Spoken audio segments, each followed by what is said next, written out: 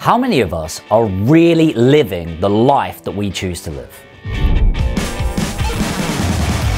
Financial freedom seems to mean such a different thing to each person you talk to. 48% of people think it's about paying off your mortgage, 43% of people believe it's about paying off debts. But what does it mean in the property world? Well, most of us talk about the passive income route. And this is often created through boring, vanilla, buy to let properties. But it's not just the passive income from rentals, it's also through the capital growth and appreciation of the properties through time. Ultimately, financial freedom to me means the ability to live a life that you want through an asset. And I don't know if you've ever read The Richest Man in Babylon, but great book, story boarded all the way through. It's really good. And essentially, it talks about the gold and silver paradox. So, people earn their gold and then they spend it. So you you end up meeting people that earn really good amounts of money, like 60, 70k a year, and you think, bloody hell, you must have so much money. And actually, they are broke on a monthly basis because they live to their means, or often, in the UK at least, we live above our means. So the context of this is that you earn your gold, you invest your gold, and then your gold produces silver, and then you spend your silver, right? And it's a really nice concept. So in property, with boring vanilla buy-to-let properties, if I earn money from my businesses and I then invest all of that money into properties, it then pays me a passive income on a monthly basis that eventually I'll be able to live off. And that rental income is your silver. Now, does this happen overnight? No, but it can happen. And often it's then about living your dream life. The reality is, if you've ever uh, looked at cash flow quadrant, rich dad, poor dad, is a doctor versus a mechanic versus a postman. All of those individuals can become financially free because it's not about how much money you earn, it's about how much money you need on a monthly basis and can your assets cover your liabilities. So why did I use property? You know, really, it could be stocks and shares. It could be cryptocurrency. Please don't do cryptocurrency unless you're an expert. It is not an investment for most people. It's really about the asset for me. For me, I'm pretty obsessed about the tangibility. What does that mean? I can see it, smell it, and touch it. And it's easy to understand. Most of us invest in stocks and shares that, let's say Facebook. How does Facebook make money? You might go, um, by driving ads? Mm, yeah, that's a small part of it. Who's the CFO of Facebook? Don't know. Who's the CEO of Facebook? Don't know. All you can think of really is Zuckerberg. And most of you cannot think of a single individual in Facebook unless you know them personally. So, why is it we would invest in a company that we don't even know who the leaders are and we don't even know how it makes money? That seems absolutely ridiculous. Like, yeah, but the company's doing well, therefore it should make more money, right? Well, no, not really. And then you've got property where you know how it makes money. You buy an asset, somebody else moves into it and makes it their home, and they pay you rent on a monthly basis. But then on top of that, basic economics of supply and demand. I don't know about you, but I don't think there's ever going to be a point where we don't want a roof over our heads. But the thing is, there's more people in the UK that want houses than there are houses available, i.e., the demand is up here, the supply is down here, therefore prices go up, and so we benefit from inflation and capital appreciation. So for me, I love the stability, I love the simplicity, and I love the tax free nature of benefiting through capital growth. Financial freedom for me has been quite a, an emotional journey, I would say. So I bought my first property when I was 19. It was number 36 Burdett Street in Burnley for £21,800. Don't be too impressed, it's probably still worth £21,800. And it was a real grind. Now, in property, it's this very unique space where people get sold onto a course about passive income, which is crazy, really. Like, really, if you're going to get educated, it should be to build a property business, not just invest in the passive income side. And this is all about producing your gold. Because if you're watching this and you don't have an earning stream, you don't have a pot of money to invest in property, then you need something to build that. And for me, when I started in my journey, I was thinking about financial freedom and passive income. I had fuck all money. So it's not exactly like, yeah, I can live this passive income dream. And when I say I had no money, I mean zero, credit card debt, everything.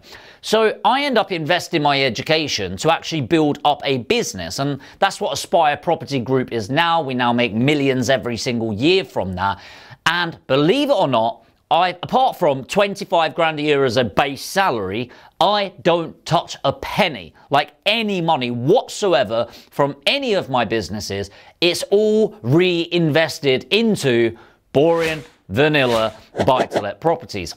The reason I love this concept, by the way, and it doesn't happen overnight, you reinvest, you build it up. It starts with a buy to let that's bringing in 150 quid a month. And then a few years later, it's now bringing in 350 net, that's net income a month, because of rental increases and things like that.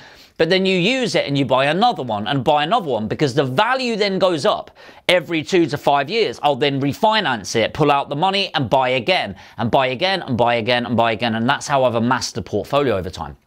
Now, for me, yeah, at the start it was about the cool things. I managed to get the Aston Martin DBS and I bought that in cash. And that was a, don't quote me, 167 grand, I think. Call it 170 just to make sure I'm covered. So that was 170 grand. And that's such a stupid thing to buy. A depreciating asset. And I bought it in cash. Not literally a holder of cash, by the way, but a bank transfer. Didn't get any finance on it, just bought it outright. And I remember a few weeks later going, oh my fucking God, I cannot believe that I spent that money. And I realized that give or take, the exact amount of time that I was worrying about it was almost to the penny how long it took me to replace that income.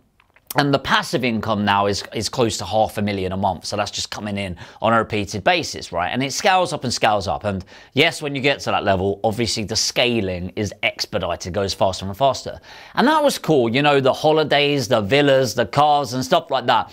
And then I realized, yeah, now that I can do that, not that bothered by it, if I'm completely honest. It's more about experiences and the networking and things you can do with your family. So uh, a great example is this week, well, yesterday actually, I was at the Bremont factory, which I knew nothing about this watch brand. And then at the end of it, bought a watch from them because I'm a sucker, right? But what's really nice is having the time freedom to be able to go do that whilst passive income's still coming in. So every single day money comes in my account without doing the work now. And that's really cool to be able to do experience there. Now I get to network with great individuals. And then it goes a bit more than that. So for me, and the reason why I'm sharing this is you might think financial freedom's for you.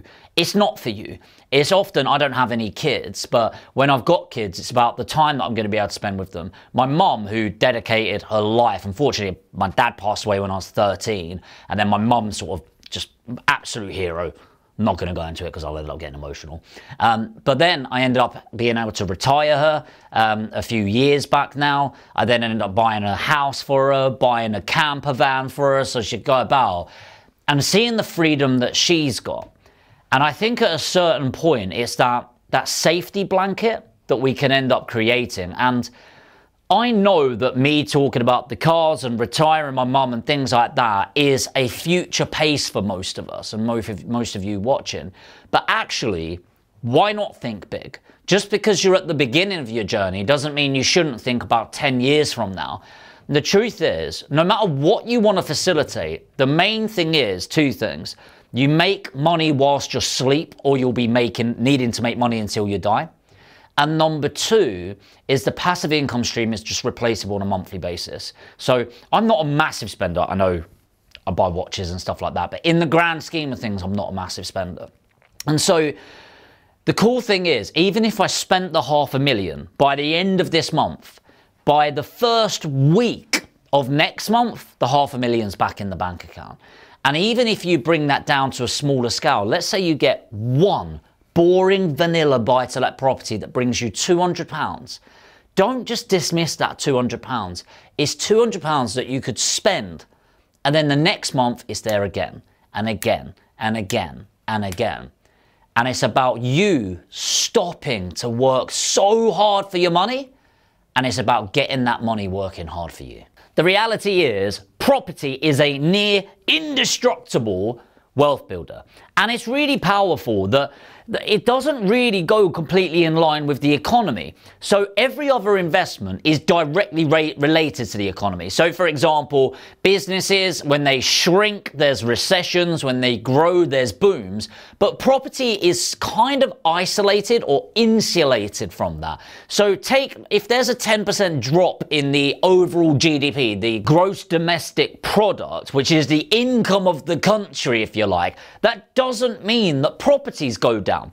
Think about this way if the demand is here and people are willing to buy here, but there's this many properties, but now the demand goes down to here, will it impact the prices? Sure but there's still so much more demand than there is supply. If you want to know the figure, there is currently over a 1 million unit housing shortage. 1 million! That means there's 1 million people looking for a house right now to either buy or rent that doesn't currently exist. And we are not keeping up in any way, shape, or form with the development, which is crazy in my opinion.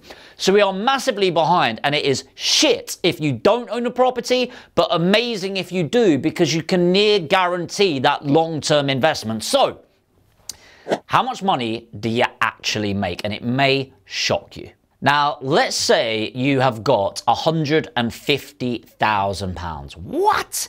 What if I told you that I could turn that into 450,000 over a 10 year basis, trebling your investment. And what if I told you that 450,000 becomes 1.35 million in 20 years?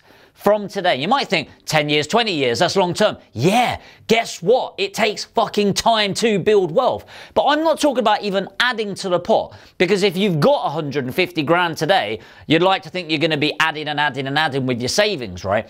But that 150 grand becomes 1.35 million in just 20 years. Or 100 grand becomes almost a million pounds without investing anything. That is not a million pound portfolio, that is a million pound to your net wealth over a 20 year period. How the fuck does that happen? Well, it's because of capital appreciation. Now, very simple. I know there's fees and stamp duty, but just to keep this easy as an example, if you buy a £100,000 buy to let property, you don't put £100,000 into it. You employ leverage or a mortgage typically at 75% loan to value. What does that mean, Jamie? What it means is you only need to put in the £25,000 deposit, not the £100,000. Now, there's other fees and things like that, but just as an example. So, let's say there's a 5% capital growth this year on that property. Now, bear in mind, the average in the UK is 7.9%, or if you want to write this down, on average, in a selected area, you have to get the right areas, it will typically double every 10 years. So 100 grand becomes a 200 grand property, then doubles again and becomes a 400,000 pound property in 20 years. Now, here's the power. There's two things. Compounding, compounding and leverage. Let me cover compounding because I've kind of done that already. If you increase 5% this year, and then it increases 5% next year, you'd go, that's a 10% growth, right? No, because that's not how value increases or compounding works. Because a 100 grand house becomes a 105 grand house. And then there's a 5% increase on that 105,000 pounds. So now it's not a 5,000 pound increase on the 100 grand. It's also the 5% of that 5 grand, which is another 250 pounds. So now it's £110,250. You might think, it's 250 quid, who gives a shit, Jamie? Because the power of compounding is your friend over the long term. So it will become hundreds of thousands of pounds of compounding over a 20 to 30 to 40 year basis. And by the way, if you're anything like me, where your exit is death, i.e., giving it to my kids and then hopefully putting it in trust for their kids and their kids and their kids, you are building a centimillion pounds portfolio over the generations. And that's not bullshit, by the way. If you've got 100 grand today, over 100 years, well, let's think 100 grand becomes 200 in 10 years. 400, 800, 1.6 million, 3.2 million, 6.4 million, 12.8 million, 25.6 million, 51.2 million, and 100 and bollocks 2.8 million. What? That is 100 million in, in a 100 years. Now, I know you won't uh, benefit from that. Stop being a selfish bastard. Think about your great, great, great grandkids that you can help in that future. And the thing is, the best time to plant a tree was 10 years ago, right? Yeah. But the second best time is today, and that's the action that we need to take. The other thing is leverage. If you've got that 100 grand, you have to bear in mind, you go, oh, 5% return from the capital growth. No, because you're only putting in 25%. Added fees, I know. So if there's a 5% increase on the value of the property, it's what? £5,000. But that £5,000 increase compared to the investment is what? 20% return. 5,000 divided by your £25,000 investment. 20%. Where can you get a 20% return? It's fucking crazy. And this is the power of property, put simply, of course, that if you have 50 grand or more and you're looking to invest in property, you can become a millionaire in your lifetime, dependent on your age. How insane is that? And this is the true thing about passive income. It helps. It helps you quit your job. It helps you get your income right. It helps uh, help you on the monthly basis. But what's going to create true financial freedom and create a millionaire legacy for your kids and their kids is the capital appreciation, compounding, and leverage through time. Now, the secret of wealth in property is selecting the right areas and getting the right properties. Lo and behold, getting a great property in a shit location is not going to help you. And by the way, that's what my company does, Aspire Property Group. So if you've got the funds to invest, which is a minimum of 50,000, and you want to know the single best areas in the UK to invest right now, and you want me and my team to help you build that portfolio to create a million pound legacy, put APG in the comments right now. I'll put it in the comments and pin it to the top. Fill in your details, and right now we are offering a completely free, no obligation one to one strategy session to help you with the right areas, the right mechanisms, and all you need is £50,000 per property to invest right now and start that portfolio. The reality is that financial freedom takes time. And the truth is, so many of us are trying to get rich quick, and that's a problem. Getting rich is easy. Or should I say simple? Getting rich is simple. It's when you want to get rich quick that you're going to end up losing your money and making somebody else rich. So do yourself a favor. Whatever you're doing today, don't just watch this video and do nothing. Do something to take action that's going to change your financial future. You can't control that you didn't plant the tree 10 years ago, but you can make a decision right now that makes 2024 your best year yet. And if you want to be one of those that makes it happen, put APG in the comments right now and help me to help you. If you did get value from this video, make sure to hit the like button. If you're not subscribed yet, you want to learn more about property investing in 2024 and beyond, make sure to hit that subscribe button and the notification bell, and I'll see you in the next video.